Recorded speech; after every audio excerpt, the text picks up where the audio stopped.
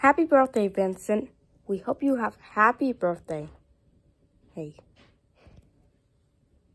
You're eight years old, and I love you so much. Your cousin, Augie. Happy birthday, Vincent.